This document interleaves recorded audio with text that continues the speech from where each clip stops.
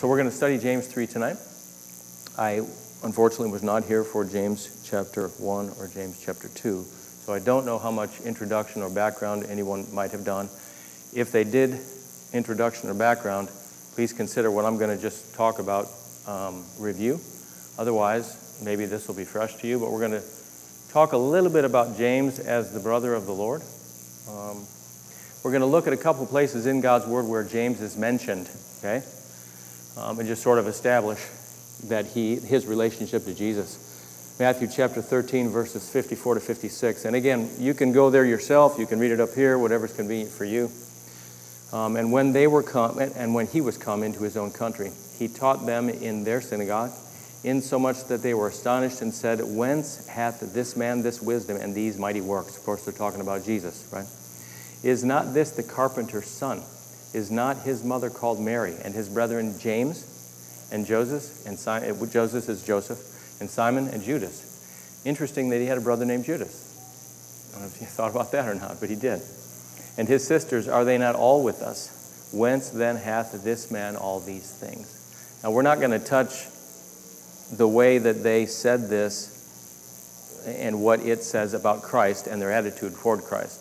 However, just look at the fact that Jesus was the oldest of a family of at least four brothers and at least three sisters, because it doesn't say his sisters, are they not both with us? It says, are they not all with us? So there's at least three of them. So he's from a family of eight kids, and he's the oldest. So just keep that in mind as we read other scriptures about um, James. And we'll just read through some of these. So, James, or sorry, John chapter 2, verse 12. After this, he went down to Capernaum, he, this is Jesus, and his mother, and his brethren, and his disciples. And they continued there not many days. So his family is actually with him during his ministry, right? John chapter 3, verse, 7, verses 3 through 5. His brethren therefore said unto him, Now, these are Jesus' brothers talking to him. Just think about this and try to wrap your mind around this, okay? His brethren therefore said unto him, Depart hence and go into Judea, that thy disciples also may see the works that thou doest. For there is no man that doeth anything in secret, and he himself seeks to be known openly. If thou do these things, show thyself to the world. For neither did his brethren believe in him. Now, what does that say about James, the second oldest?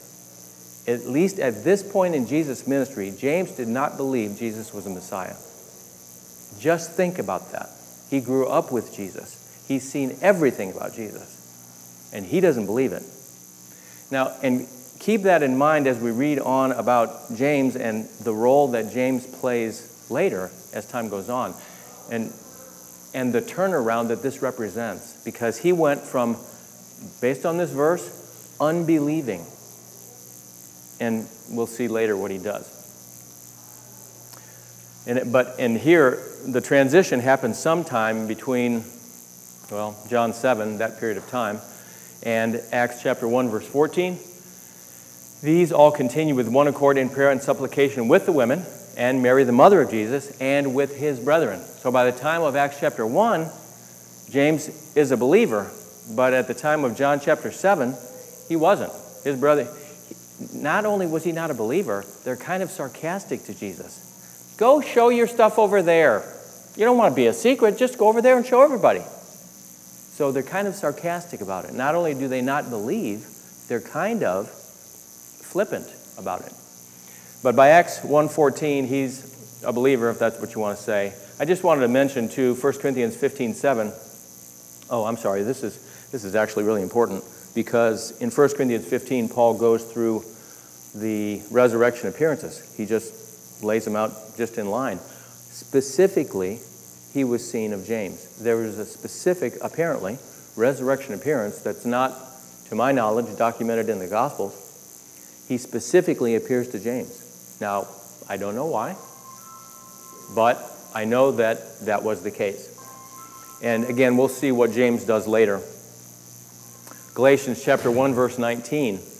Um, this is when um, Paul goes back to Jerusalem. And he says, But other of the apostles saw an unsaved James, the Lord's brother.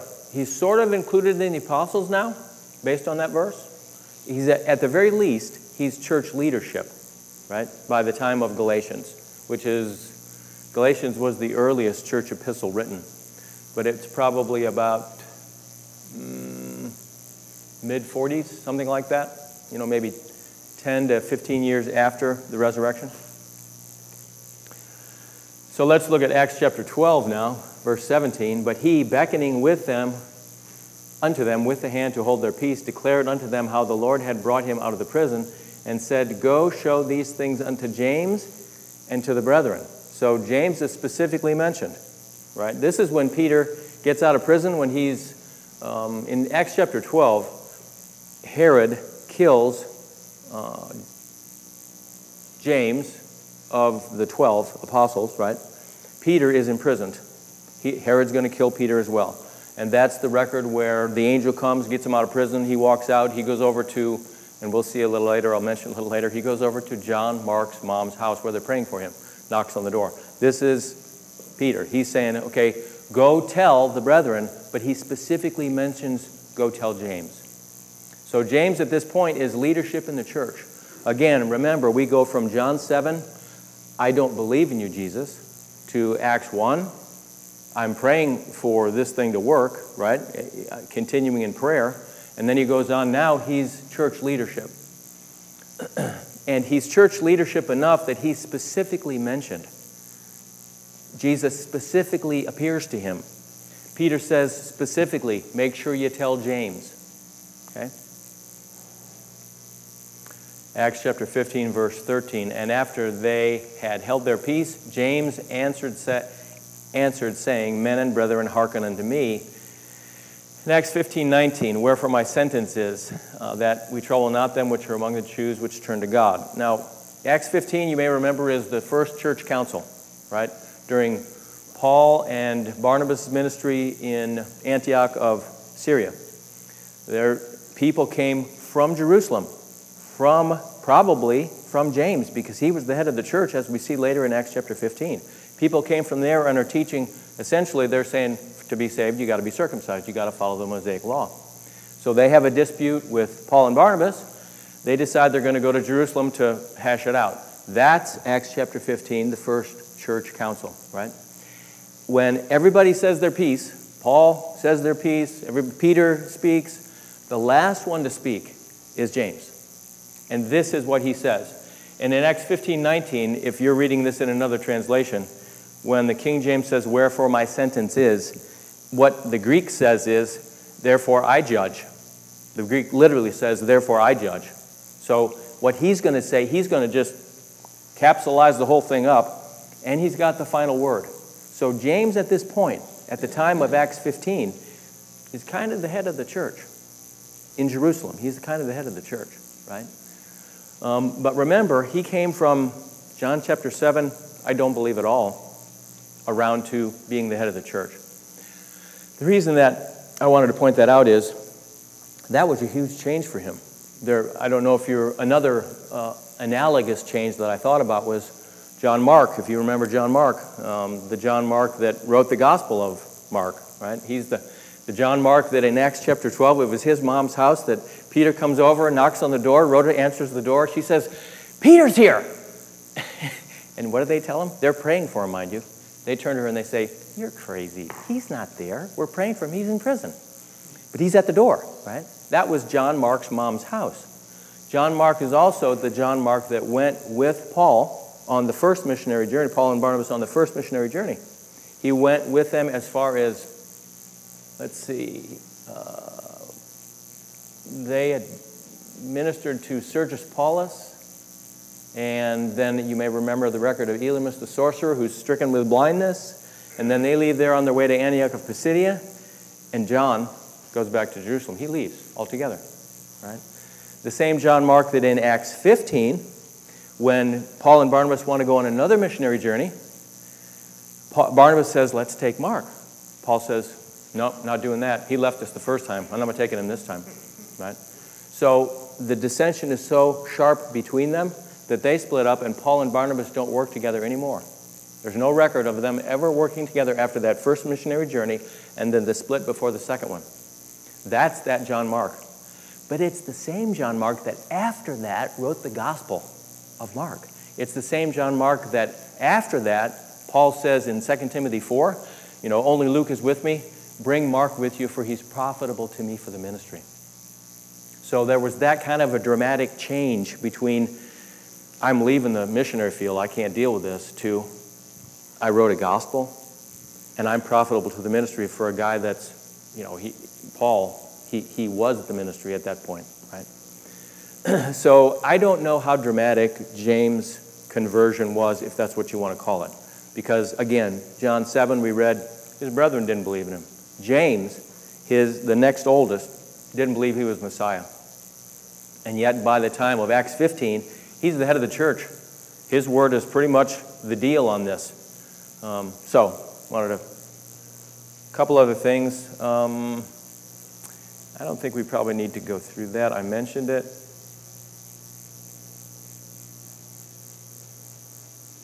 Galatians chapter 2:12, we'll just read this. For, for before that certain came from James, James, the James we're talking about, he did eat with the Gentiles, that's Peter.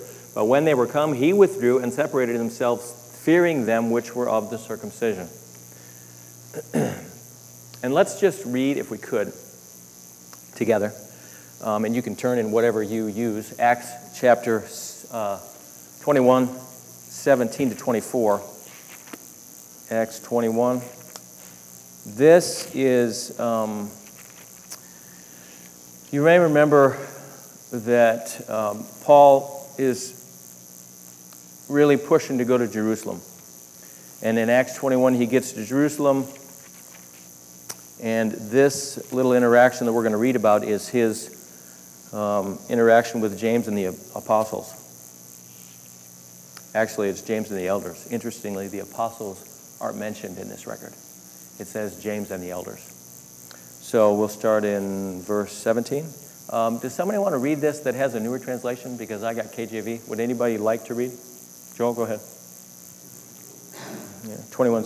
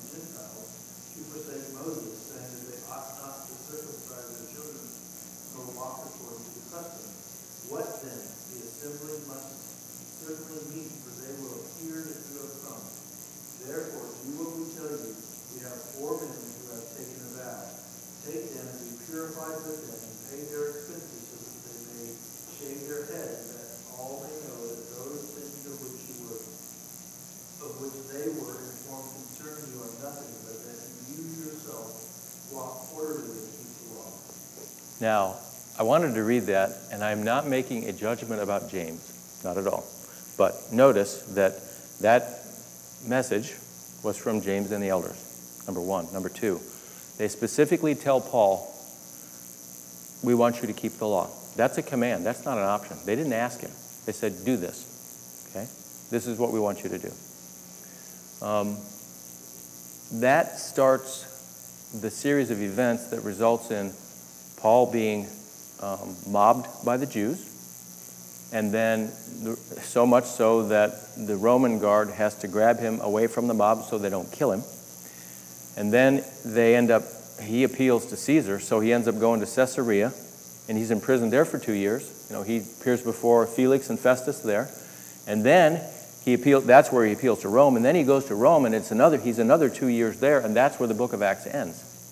So from this time on, he doesn't travel freely to preach God's word until after the book of Acts ends, when he apparently goes on another missionary journey. But James and the elders specifically tell him, We don't want them to know that you're not supposed to keep the law, so we want you to keep the law. We want you to do this. Right? That's James and the elders. Point being, James at this point is the head of the church. He's specifically named. Notice the apostles are not named. I'm not sure why, frankly, don't know. But it caught my eye that they weren't. Earlier in Acts, you would always see the apostles there. Peter, I mean, you'd always see them present. In Acts 21, you don't. so, um, and then I just wanted to mention 1 Corinthians 9 5, just by way of sort of keeping in mind other things you read in God's Word and the learning that you can uh, gather from that. Uh, have we not power to lead about a sister or wife as well as other apostles and as the brethren of the Lord and Cephas? So, brethren of the Lord, apparently James was married. Based on this verse, apparently he was married because that's what it says. so, um, so now we'll actually look at James chapter 3, and let's go ahead and read James chapter 3. Would someone else, again with a newer translation, like to read James chapter 3? We'll just read the whole chapter and we'll go back and look at a couple of things. So that was a little background about James. Okay, that up to now, that was all some background about James, the brother of, of Jesus. Now we'll dive into the epistle that he wrote. Anybody want to read? Go ahead. Yeah. Go, go ahead. James chapter 3.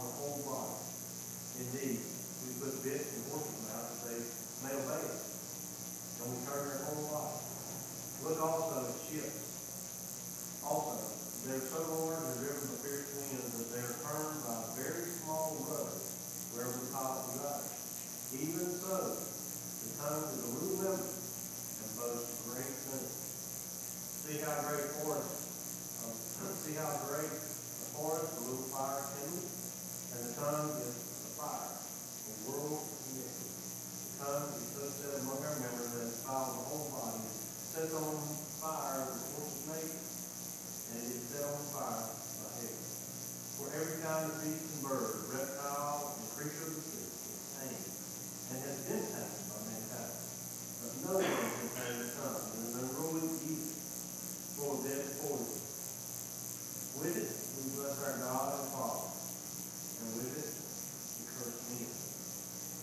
would have been made in the similitude of God, out of the same mouth which he blessed and cursed. My brethren, these things ought not to be so. Does a spring send forth fresh water and bitter from the same open? And a fig tree, my brethren, bear olives for a grapevine bear fig. Thus, no spring yields both salt water and fresh. Who is wise and understanding? Let me show you have bitter envy and self-seeking in your heart. Do not boast and lie against the truth. This wisdom is not sensual, but it's earthly, sensual, demonic. For where envy, self-seeking, and fear, confusion and every evil, evil thing are there. But the wisdom that is above is first pure.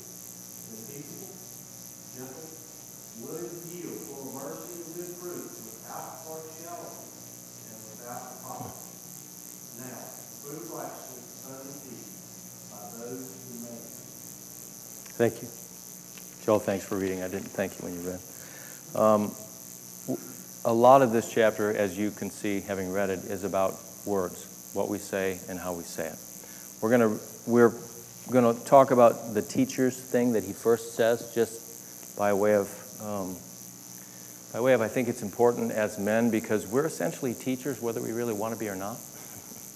um, because you teach your wife, whether verbally or by conduct or just by the way you act and speak.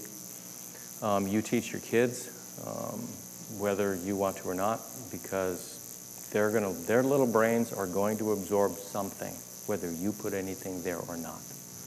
Um, the best thing to do, of course, is to obey God's word and you know, do what we're supposed to do, and we'll talk about that. But the fact of the matter is, as men, um, as Christian men, we are teachers whether we want to be teachers or not.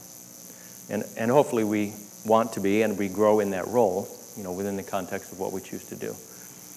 But let's talk about James chapter 3, verse 1. In the New American Standard, um, this chapter, or this uh, verse says, Let not many of you become teachers, my brethren, knowing that as such we will incur a stricter judgment. The one uh, study tool that I use in the New Testament a lot that I really like is called Robertson's Word Pictures. He is real good with the grammar part of things, the Greek stuff. So for a moment, we're going to get geeky. Um, this command is this is actually a command. It's in the imperative mood, although it's hard to translate that into English in this particular case. But because it's in the present tense, what it really means is, and he, I noted here, stop becoming many teachers. The fact of the matter is, it was an, a, a phenomenon, it was a movement. Everybody and their brother were trying to teach things that they didn't necessarily understand. So James is saying, okay, wait a minute, hold up. Not everybody's going to be a teacher. Okay? Um, and he goes on to explain a little here. There is thus a clear complaint that too many of the Jewish Christians were attempting to teach what they did not clearly comprehend. So this verse is actually talking about Everybody can teach now, and that's not necessarily true. Not that everybody shouldn't have opportunity, not that people cannot grow in that discipline. I don't mean that. But um, what James is saying here is okay, hold up. Not everybody is going to be teaching doctrine. That's what that verse is talking about. but, and interestingly, though, too, um, and again, just by way of reading God's word and sort of noticing details, James considered himself a teacher because he says, we are going to receive a stricter judgment. So he included himself in that group. He himself considered himself a teacher because he says we. and uh, that teachers are a gift ministry. Uh, you may re- remember Ephesians 4:11. He gave some apostles, prophets, evangelists, pastors, and teachers for the perfecting of the saints, for the work of the ministry, for the edifying of the body of Christ, etc. So those, that's a gift ministry. I mean, uh, um, it's, it's a, a high calling, if you will. And then I thought about this, as I mentioned earlier uh, Christian men are teachers, whether you want to be teachers or not. Um, the Shema that Pastor David chose as the theme for the retreat that we had. Um, this is from that, and again, the word Shema just means listen. Okay, that's all. That's all that fancy word means. Hebrew word means listen. So listen up, right? Uh, Deuteronomy 6 7, thou shalt teach them diligently unto thy children, shalt talk of them when thou sittest in the house, walkest by the way, liest down, rise up. Teach diligently, I think I've mentioned before, is the Hebrew word for sharpen. To whet, like you take a knife and you sharpen it on a sharpening stone. Um, to do that, first of all, just a couple of details about sharpening. Number one, you have to do it over and over again. A knife doesn't stay sharp all the time. You have to do it over and over. Number one. Number two, to sharpen a knife, you have to take a little bit of metal off. So what you're rubbing it against is harder than the knife. And that's sort of the way moms and dads got to be in some respects. because sometimes you have to, you just have to stand for God's word. That is the nature of the case. If you didn't want to do that, probably shouldn't have become a parent because that's what you're supposed to do. Uh, Matthew 12 35. Um, the thing I thought about with respect to words in general is that they don't start here, they start here. Um, words are I, I, I mentioned this in the context of Joshua 24. I don't specifically mention or remember the verse I was talking about, but I talked about the importance of words as far as God is concerned. I mean, think about the fact that the only way we know God, at least initially, is words. That is how He chose to reveal Himself to us, number one. Number two, your eternal salvation is based on words. If you don't say with your mouth the Lord Jesus Christ, that He's the Lord and that God raised Him from the dead, you're not saved. So words are extremely important to God, extremely important to God. He chose to, and think about the act of creation and how it's recorded biblically. Let there be light. Just think about that for a second, okay? That everything that you see was created in six days because God spoke it into being. Think about that. And how important are words? How important are words now? How important are words in our family? How important is how you speak to your wife or your kids, for heaven's sake? So, anyway, a good man out of the good treasure of his heart brings forth good things. Evil man out of the evil treasure brings forth evil things. Words don't start here, they start here. Okay, they start in your heart. good things, good words arise from a good heart. You know, leopard can't change his spots. Now, that's not quite true because Romans 12 2 is true. You can be transformed by the renewing of your mind. But the bottom line is words start from your heart. They start from your heart. Now, 1 Peter 3.15, uh, this is a great verse for this too. But sanctify the Lord God in your hearts, um, and be ready always to give an answer to every man that asketh you a reason of the hope that is in you with meekness and fear. Um, so, most of the time, I think when that verse is used, it's in the context of, of witnessing to other people. You know, going out to like door-to-door witnessing, or you're doing. We're going to here in a, a few days, we're going to be doing the gift wrapping thing at Walmart, and of course, we're going to be talking to people about church and about God's word and about Jesus Christ as their Savior. But you know, the first ones you got to give an answer to are yourself, your wife, your kids. If you don't give an answer to your kids, you know what happens? They live your faith until they can think for themselves, and then they don't. When they get to college, they forsake it because it was never theirs in the first place. If they don't make it their own by the time they're adolescents, chances are they're not going to stick to it. So the first people you got to give an answer to are yourself, your wife, and your kids. Not that this verse isn't, verse isn't applicable to witnessing, I don't mean that, but there's several steps before that in terms of giving every man an answer. Okay? So, and again, all this is the context of words and what James 3 says about words. So, we're just going to look at some various um, verses. Some, most, many of them are from Proverbs, verses about words and we'll just read a few of these. We'll delve in a little bit deeper to some of them. Proverbs 10:19, in the multitude of words there wants not sin, but he that refrains his lips is wise. Proverbs 17, 27 and 28. These are great verses. These are just great verses. He that hath knowledge spares his words, and a man of understanding is of an excellent spirit. Even a fool, when he holds his peace, is counted wise. And he that shuts his lips is esteemed a man of understanding, right? So if you're not sure what to say, best thing to do is be quiet because they're going to think you're smart if you're quiet. That's what Proverbs 17 28 says. Proverbs 21 23 Whoso keeps his mouth and his tongue keeps his soul from troubles. The point being with several of these verses control.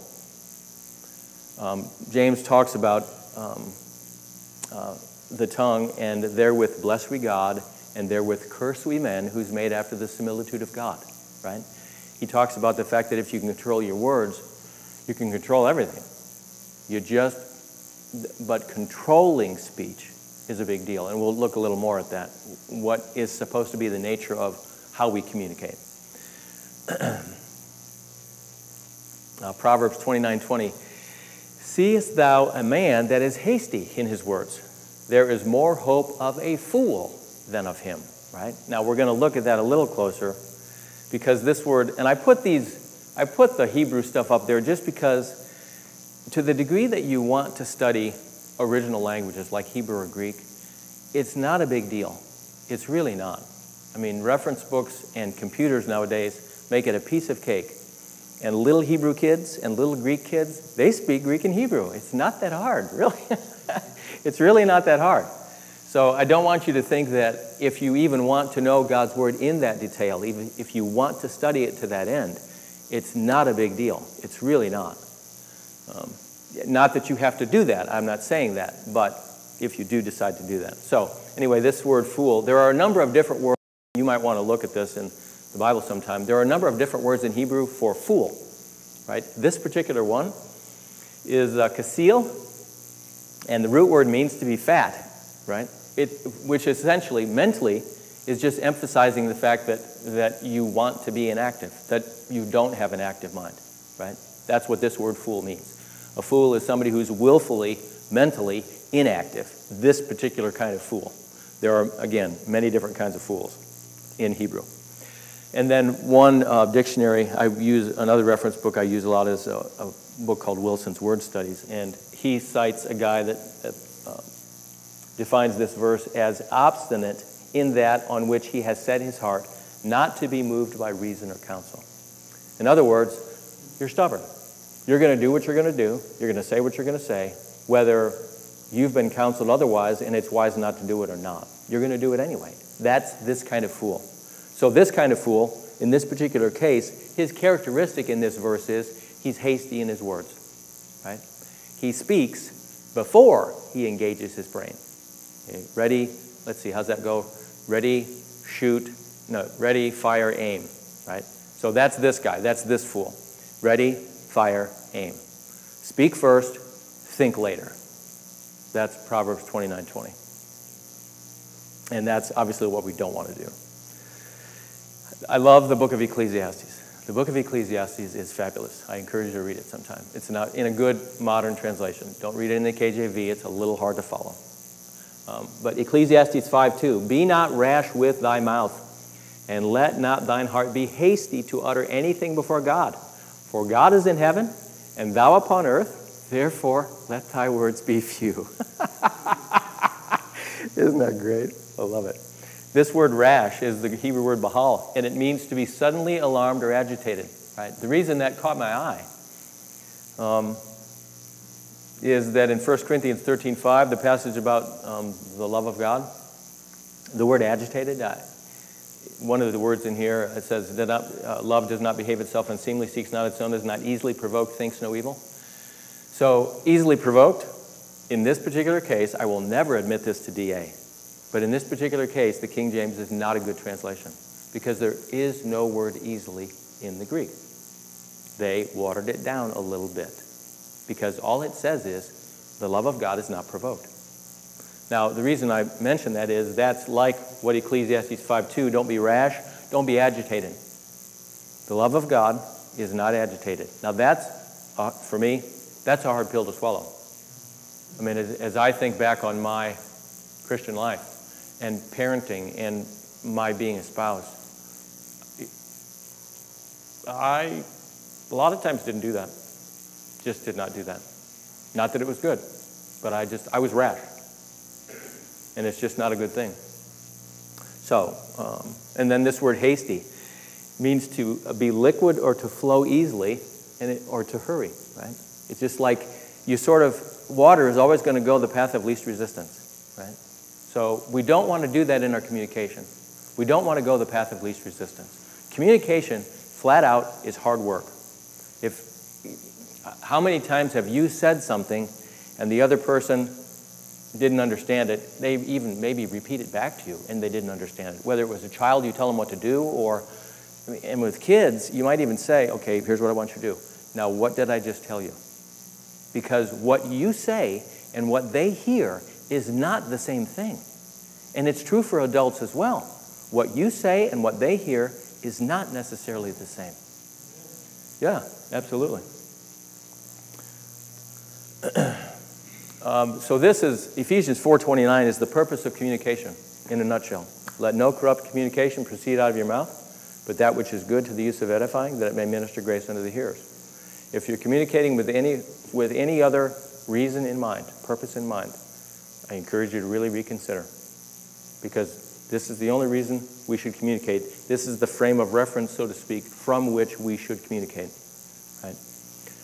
This is the therewith blessed we God part of James 3. and also a little bit in here is the therewith curse we men. Right? So this word corrupt is the Greek word sapros. It means to be rotten or to, or to be putrid. Right? But if you just look at this verse, Paul defines what this what corrupt means. Instead of being corrupt, what we're supposed to do in contrast to that is what is good for supplying help when there is a need, right? That's, that's his, the first part of his definition of, of what rotten isn't, right? You should supply help when there's a need. And the second part is what does not minister grace. Okay, so the opposite of rotten is you're communicating help when there's a need and that you're ministering grace. Right? So that's the opposite of the rotten. So again, the Bible many times is its own dictionary. It defines its own terms. It tells us right here what the purpose of communication is supposed to be. If we're not speaking to the end that we're supplying a need and we're ministering grace, then I encourage you to reconsider. Or at least reconsider how you're doing it your tone of voice, the look on your face, um, how quickly you speak, how loudly you speak. All of those things are part of communication. So the life lesson caution, engage your brain before engaging your mouth, right? Uh, be aware of the impact of your words that your words have on others, and, and uh, also the accountability inherent in giving birth to them. And when I say, I, I thought about, you know, when you speak something into being, you really, when you speak, you can speak something into being. I mean, Romans 10 9 and 10 is your salvation, guys. If you confess with your mouth the Lord Jesus, believe that God raised him from the dead, you are bringing about, you're doing your part of salvation. Of course, you can't save yourself. I'm not saying that. There has to be, God still has to do 99%, but, but you have to say that. And when you say something, um, you are sort of giving birth to an idea. You give it, especially with your kids. I mean, you got to think about with children, for example. When you're speaking to them, there is nothing in their brains at all. It's a total blank slate. The only thing they got is what they hear from you and their mom for probably several years. So they're forming ideas. They're forming ideas. I think um, common. I think common. The common statistic or wisdom that I know of is that character, as we think of character, is formed by the time of about five years of age. I'm not saying it doesn't develop beyond that, but substantially it's formed by that point. So you've got to think, you've got to figure that they're forming their ideas that are going to last their whole lives. I talked to a, I was talking to a patient the other day, and she was sharing with me that um, she had tried, uh, tried to commit suicide two different occasions, right? Because of how her dad treated her. Tried to communicate, to commit suicide twice. Tried to throw herself in front of a bus. Tried to slit her wrists because of how our dad treated her. So, again, moms and dads are teachers, whether you want to be or not, you are, right? To each other, of course, and then to your kids, because everything in that little brain for the first few years, you're responsible for. it's you. Okay, here's, I, I've mentioned this before too. Brain's considered by scientists, by, I'm not talking about Christian believers, I'm just talking about Joe average scientists they consider the human brain the most complicated thing in the universe, right? So here you get a blank one, and they're going to give it to you, and you're responsible for it. Now just think about that. And think about the impact of your words, of how you say it, of what you say, of how often you say it, of the purpose with which you say it. Because again, words arise out of here, not from here. They arise from your heart. So communication starts with intention. You know, what feeling do the words communicate? Is it edifying? Is it supplying help when there's a need? Is it ministering grace? Or is it, and, and I will be honest with you, sometimes mine was the latter. And I'm not proud of that, but it was.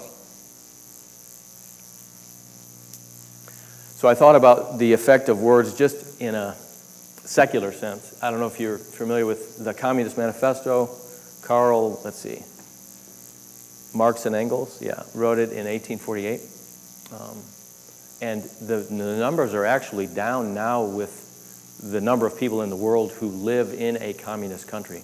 But we're just talking about a book they wrote, right? We're just talking about a book that advocated a classless society where all property was held in common and it was against what we in this country called capitalism. Right? It was just a book.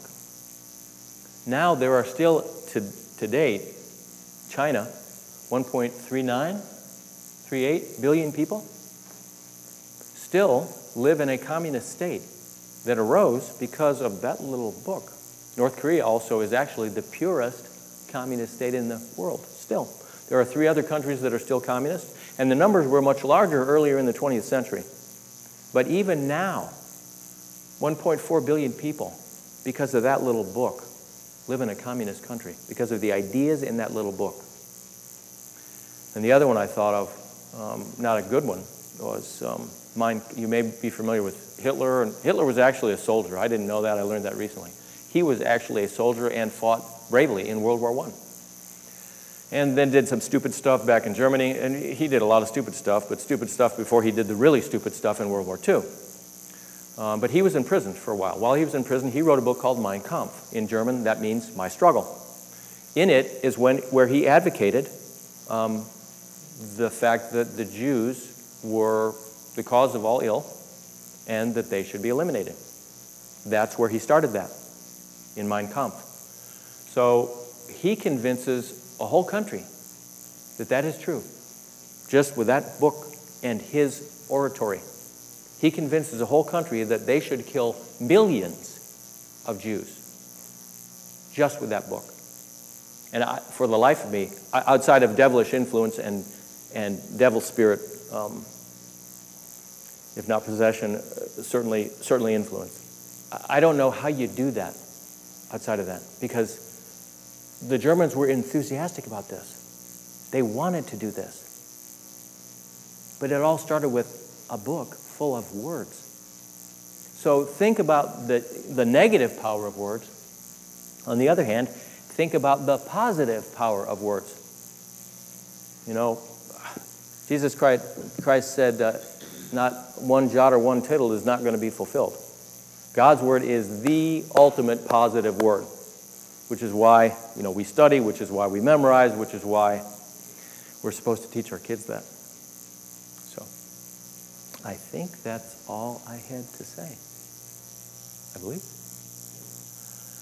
So I'll close with prayer, and if anybody has any questions. Heavenly Father, thank you for uh, your word. Thank you for the truths that James emphasizes for us of uh, the intention with which we speak, uh, what we say, the purpose for um, our speaking, our communication.